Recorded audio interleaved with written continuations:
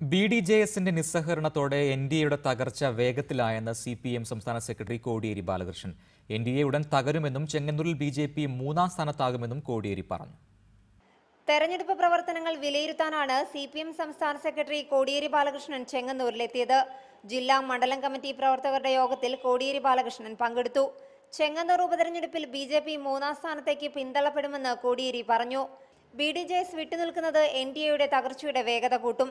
N D എയുമായുള്ള ബന്ധം ധൃതരാഷ്ട്ര ആലിംഗനം പോലെയാണെന്ന് ബി ഡി ജെ എസിന് മനസ്സിലായി.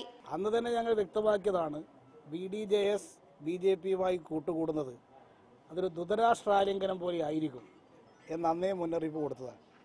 ഇപ്പോൾ അവർക്ക് അനുഭവത്തിൽ അത് ബോധ്യപ്പെട്ടിട്ടുണ്ടായിരിക്കുമെന്നാണ് തോന്നുന്നത്. ഒരിക്കലും ബി ഡി ജെ എസിന് എസ് എൻ ഡി പിയുടെ അനുയായികൾക്ക് ആർ എസ് എസുമായിട്ട് യോജിച്ചു പോകാൻ സാധിക്കില്ല.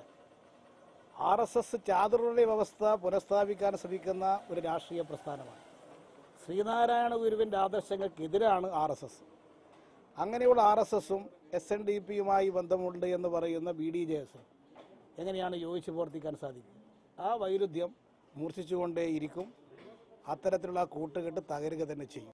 തെരഞ്ഞെടുപ്പിലൂടെ ആർ എസ് എസിന്റെ അജണ്ട നടപ്പാക്കാൻ സി പി എം അനുവദിക്കില്ലെന്നും കോടിയേരി ബാലകൃഷ്ണൻ പറഞ്ഞു. റിപ്പോർട്ടർ ആലപ്പുഴ.